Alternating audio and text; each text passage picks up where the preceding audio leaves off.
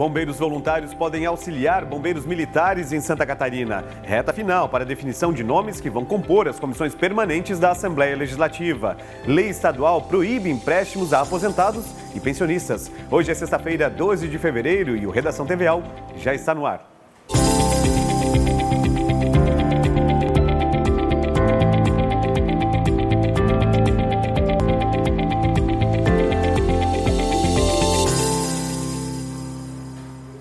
Boa noite. A Secretaria de Estado da Segurança Pública quer ampliar os serviços prestados pelos bombeiros comunitários em Santa Catarina. Um projeto de lei com este objetivo já tramita na Assembleia Legislativa. O Corpo de Bombeiros Militar de Santa Catarina pode contar com o serviço de até dois bombeiros comunitários por dia em cada quartel. Uma lei aprovada pela Assembleia Legislativa em 2017 e regulamentada dois anos depois garante a atuação desses voluntários treinados, permitindo que eles recebam pagamento pelo dia trabalhado e uma série de indenizações, como ocorre com os guarda-vidas civis que atuam nas praias. A lei permite que os bombeiros comunitários auxiliem a corporação militar em atividades de atendimento pré-hospitalar, combate a incêndios e busca e salvamento. Mas a Secretaria de Estado da Segurança Pública quer ampliar a atuação dos voluntários. No último dia 9, o governo do estado enviou ao parlamento um projeto de lei com este objetivo. A intenção é adequar o que hoje está estabelecido como atividade voluntária no Corpo de Bombeiros Militar. O projeto altera a ementa e um dos artigos da Lei de 2017 para permitir que os bombeiros comunitários atuem não só nas operações de emergência, mas também nos programas e projetos sociais, ajudando os militares no trabalho de prevenção. O bombeiro comunitário foi uma alternativa encontrada pelo Corpo de Bombeiros Militar no final da década de 90 para minimizar a escassez de efetivo e para agilizar o atendimento à comunidade. Hoje, o Estado conta com aproximadamente 20 mil desses voluntários. Com o novo projeto de lei protocolado na Assembleia, o governo pretende incentivar programas de prevenção a ocorrências e também ajudar a sociedade a saber superar adversidades como catástrofes e outras emergências que impactam na segurança pública. Tem se tornado comum aposentados e pensionistas serem surpreendidos por empréstimos que nunca pediram. Mas essa prática deve deixar de existir em Santa Catarina. Uma lei estadual proíbe a prática deputado Jair Mioto apresentou projeto de lei que favorece beneficiários do INSS. De acordo com a proposta, fica proibido o crédito de recursos de empréstimos e financiamentos por parte de instituições financeiras e sociedades de arrendamento mercantil. Aposentados se queixam de receber empréstimos que não pediram. O dinheiro é depositado na conta sem o consentimento e sem a existência de um contrato. O projeto prevê multa de 50 salários mínimos que deve ser dobrada em caso de reincidência. Projeto que proíbe as instituições financeiras de realizarem crédito na conta, principalmente de pessoas é, do INSS.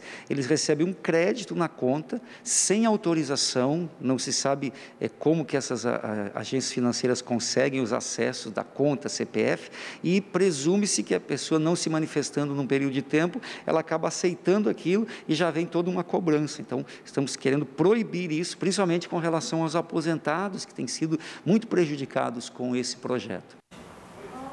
Termina na próxima semana o prazo para que partidos políticos e blocos parlamentares definam os nomes dos deputados que vão compor as 20 comissões mais a Comissão de Ética e Decoro da Assembleia Legislativa. A composição dessas comissões é renovada a cada dois anos ou sessões legislativas, que começam sempre no dia 1 de fevereiro, indo até 31 de janeiro do ano seguinte.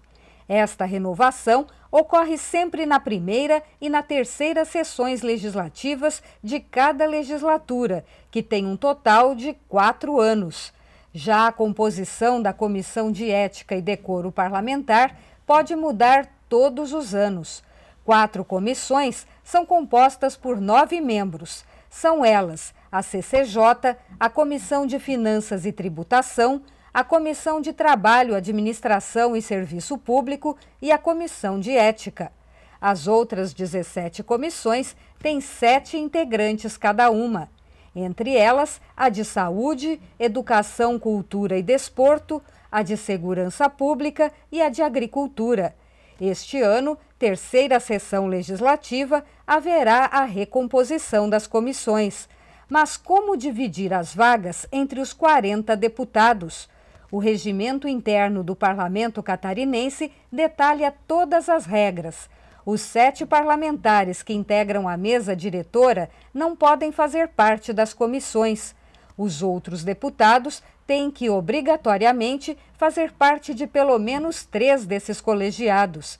E na hora de definir a divisão das vagas, é preciso levar em consideração o tamanho das bancadas partidárias no dia 1 de fevereiro do ano em vigor. Quanto mais deputados tiver um partido ou um bloco parlamentar, maior será a quantidade de vagas a que tem direito. Desta vez, nas comissões com nove membros, terão direito a duas vagas o bloco formado por MDB e Partido Novo, com dez deputados. O bloco composto por PSL e PL, também com dez parlamentares. E o Bloco Social Democrático, que reúne PSD e PSC, composto por seis parlamentares. Os demais blocos e partidos têm direito a uma vaga cada um em cada uma das quatro comissões. São eles o Bloco Social Democrático Republicano, composto pelo PDT, PSDB e Republicanos, que tem cinco deputados, e o bloco que reúne o Progressistas e o PSB, com outros cinco parlamentares. O PT, que não integra nenhum bloco, também tem direito de indicar um deputado para cada uma dessas comissões. Nos outros 17 colegiados, aqueles com sete membros, apenas o bloco formado por MDB e Partido Novo tem direito a duas vagas em cada comissão.